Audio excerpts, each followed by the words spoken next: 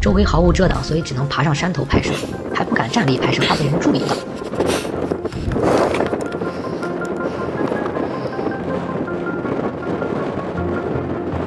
不愿被奴役的人，也不愿看到别人被奴役。愿中国政府、共产党早日解体下台，结束这一切反人类的罪恶。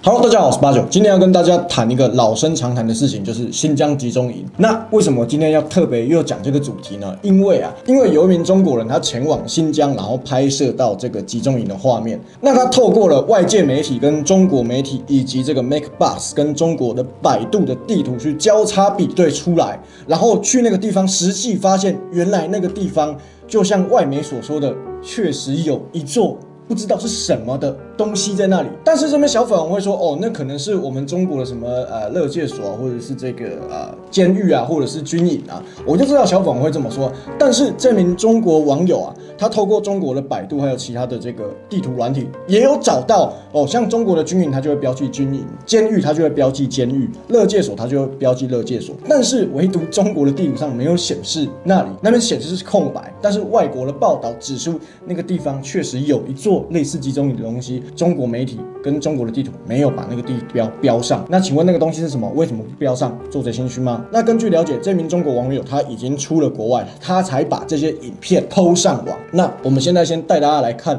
一些片段，如果想要看完整的话，可以去 G U A N G U A N 的频道去观赏，因为这部长达十九分钟。这边呢，就带大家来看这几个重点的小片段。我在整个拍摄过程中都没有录制现场的解说视频，是出于安全的考虑，因为如如果录了一段素材解说，这里是新疆的某个某个地方的哪个集中营，然后恰好又被警察拦下来检查拍摄内容，那我也就直接进集中营了。穿过铁路桥，道路很快就变成了碎石路。我再一次出现在了游客不应该出现的区域，周围毫无遮挡，所以只能爬上山头拍摄，还不敢站立拍摄，怕被人注意到。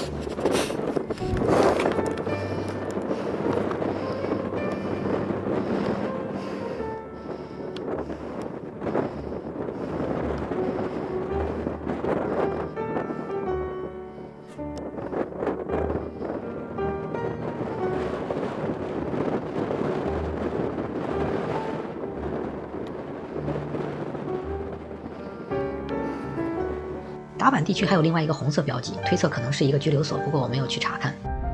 最后一天来到库尔勒市东郊，这里在百度地图上是一片空白，但是 BFN 提供的信息显示，就有好几个集中营坐落于此。在这些军营的背后，更远的地方可以看到有围墙铁丝网守卫塔，那里就是集中营位置所在了。本想离得近一点，可是没有道路可以开过去。这里是一个黄色标记，集中营隐藏在这个红色大门院落的后面，从公路开过并不容易注意到。河对面桥头的位置是另外一个灰色标记所在。关于新疆集中营这个事情，外国媒体已经有很多报道了。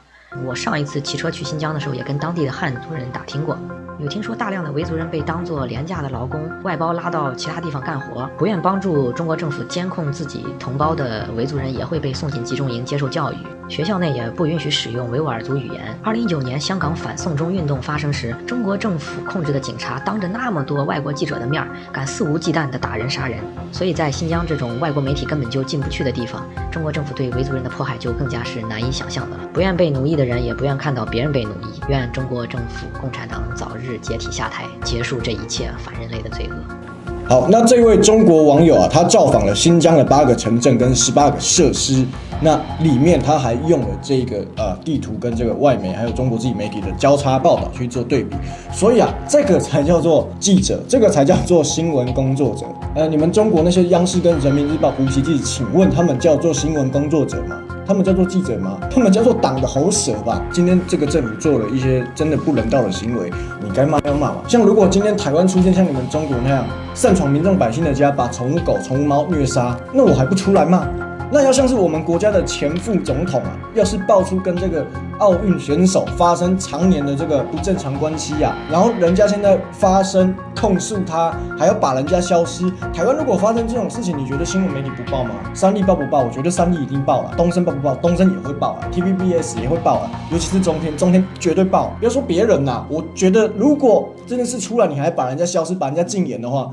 连我都看不下去了，但是你们中国的这个彭帅，他跟你们的这个国家前副总理啊，还是这个副主席啊，哎，发生了这个关系，你们中国媒体抨击了吗？骂了吗？没有，我就试问中国现在多少人知道？中国十四亿人多少人知道这件事情？一个泱泱大国。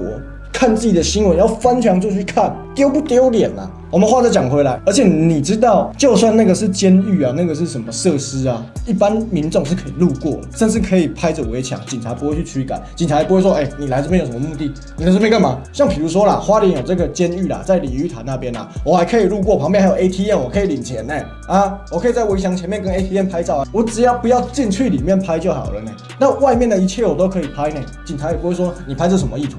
这是我的自由，我不能拍吗？我有拍到里面吗？我没有拍到里面呢。然后我觉得中国官方跟小粉最诡异的一件事，你们说别人在抹黑你们，不是？那你为什么不开放这个联合国的人权理事会的人进去帮你们证明呢？像当年那个德国，他也他也口口声声说我们德国没有集中营啊，他还让红十字会进去帮他见证啊。虽然事后战后证明确实有集中营嘛，那你们中国连这个作假做戏，安排这个联合理事国的演员进去。还有其他的这个外国媒体进去帮你们这个质证，你们大可以一组中国记者哦，央视的跟一组外国记者，两个一组嘛，两个一起去采访嘛，他拍什么你拍什么嘛，是不是？你就不怕别人断章取义啦，对不对？那重点就是。你不敢啊？那你不是心里有鬼，就是身上有屎嘛？今天如果一个国家它被人家严重指控有的话，那它最重要的不就是要自证清白吗？啊，算了算了，小粉是快乐树，跟快乐树讲这些是没有用的。那大家有兴趣的话，去看这个 G U A N G U A N 的这个频道，这个长达十九分钟，他会讲的更清楚、更明白。有兴趣大家可以去看。那今天影片到这就结束，喜欢记得订阅，不喜欢记得一定要把封锁。十八再见了，拜。